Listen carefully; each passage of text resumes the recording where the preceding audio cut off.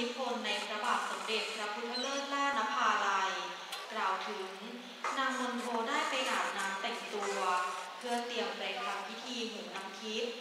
สำหรับนำไปประพรมญาติวงคงษาที่สิ้นชีวิต ให้กลับฟื้นคืนชีวิต ซึ่งนางมนโทนั้น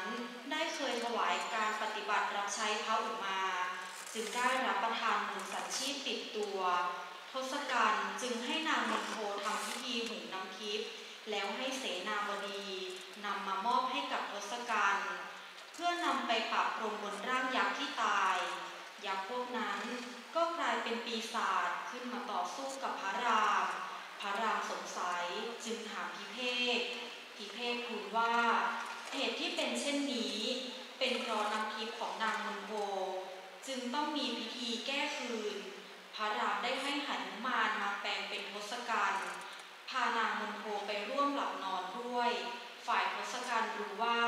คงมีศัตรูเข้าไปทำลายพิธี จึงขออย่าทัพให้พระรามมารบกันในวันรุ่งขึ้น เมื่อกลับมาถึงกรุงลงกา ก็รู้ว่า